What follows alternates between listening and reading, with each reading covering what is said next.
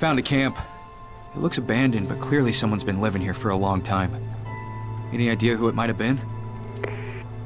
Well, I did read somewhere that a few years back, an Englishman walked the entire length of the Amazon River, and it took him over two years.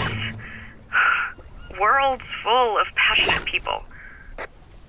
Yeah, I know. But something here doesn't add up. It looks as if they just disappeared. Like, leaving all their gear? That just doesn't make sense. That is strange. But maybe it's a good thing. You can just grab what you need. Yeah, doesn't look like anybody will be needing any of that.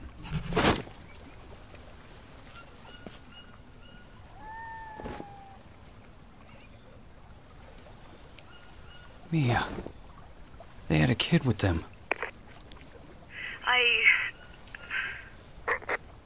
You, you don't have to say anything. I guess I just had to share this with you.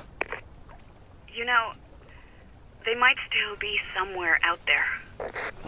You don't have to comfort me.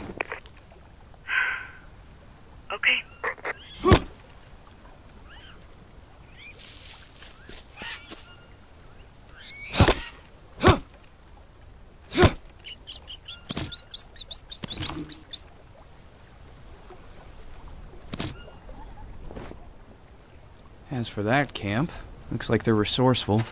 They even killed an anaconda and put its carcass on display. I wonder why they do that. Uh, to show a sign of strength. The natives have their totems.